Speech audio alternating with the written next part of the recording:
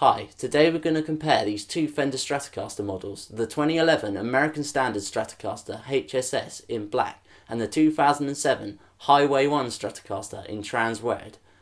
These are both high quality electric guitars made in the USA but have some differences in features, sound and aesthetics.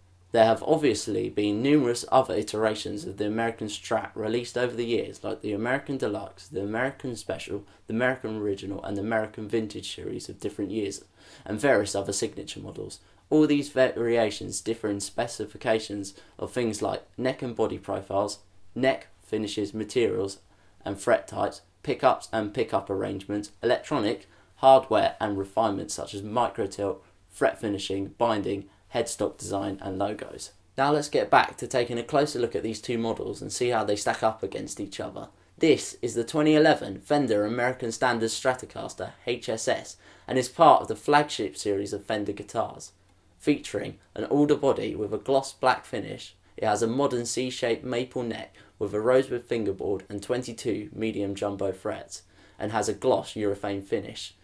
It has a versatile pickup configurations with two custom Tex-Mex single coil pickups in the neck and middle position and Fender Diamondback humbucking pickup in the bridge position. The humbucker is controlled by a separate tone knob giving you more control over its output and tone. The pickups are also controlled by a 5-way switch and a master volume knob. The guitar has a 2-point synchronized tremolo bridge with new American Standard bent steel saddles and a Fender Deluxe staggered cast steel tuning machines.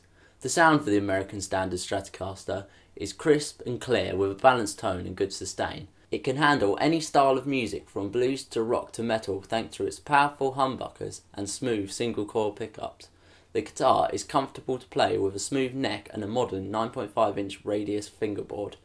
The guitar's black finish is sleek and elegant and contrasts nicely with the parchment pickguard and chrome hardware. Now let's have a look at the 2007 American Highway 1 Stratocaster which is part of the series of Fender guitars that offer great value for money, featuring an alder body with a modern C-shaped maple neck with a maple fingerboard and 22 medium jumbo frets and a thin nitrocellulose lacquer finish. It has a classic pickup configurations with three Texas Special single coils in the neck, middle and bridge positions. The pickups are controlled by a 5-way switch, a master volume knob and two tone knobs. The guitar also has a vintage style synchronized tremolo bridge with 6 bent steel saddles and Fender cast sealed tuners. The sound of the Fender Highway 1 Stratocaster is warm and rich with a vintage vibe and a lot of character. It has a strong mid-range presence with a lot of bright treble and a punchy bass. It excels in blues, country, and classic rock styles thanks to its twangy and expressive single coils. The guitar is also comfortable to play with a smooth neck and a modern 9.5 inch radius fingerboard.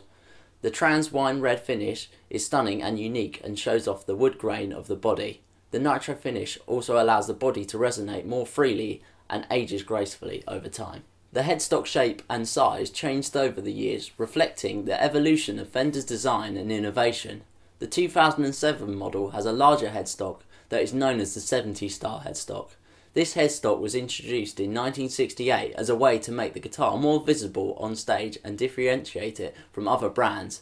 The larger headstock has a different script for the Stratocaster name, which is more curved and italicized than the standard one. The 2011 model has a smaller headstock that is closer to the original designs of Leo Fender. This headstock has a more straight and upright script for the Stratocaster name, which is also more aligned with the Fender logo.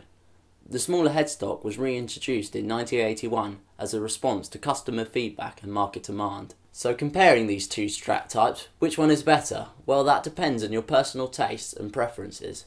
Both guitars are well made and reliable instruments that can deliver a great sound and performance However, they do have some pros and cons that you may want to consider before making your choice. The American Standard Stratocaster has the advantage of having more pickup options thanks to its humbucker that can be adjusted independently from the single coils.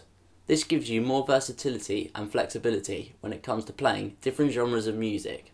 It also has a gloss urethane finish which is more durable and resistant to scratches and dents than the nitro finish of the Highway 1 Stratocaster. However, some players may prefer the look and feel of nitro finish over the gloss urethane.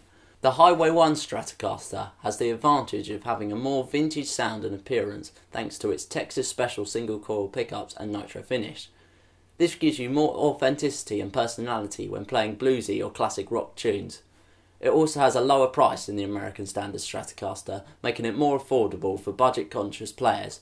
However, some players may find the single coils too noisy or limited for heavier or modern styles of music.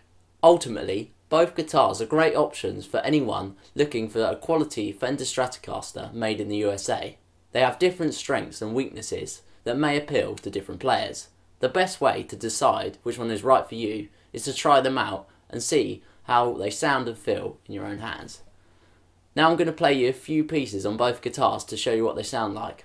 I'm playing through a vintage Valve Triumph Leo amp and a Klon Centaur as my overdrive.